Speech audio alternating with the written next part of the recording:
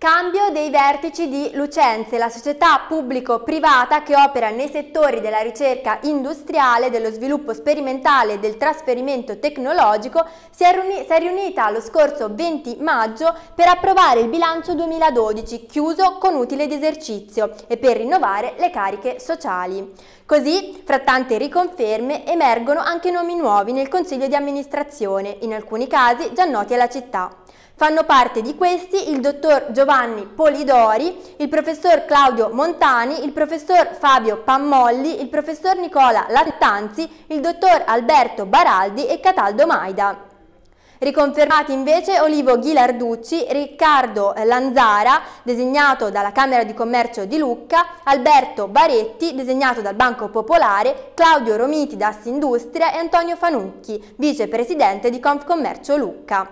Cambio della guardia anche alla presidenza di Lucenze. Lascia Claudio Romiti, da gennaio nuovo direttore di Assindustria Lucca e prende il suo posto Alberto Baraldi, per 15 anni direttore generale di Salov. Resta invece invariato il collegio sindacale presieduto dal dottor Umberto Bocci.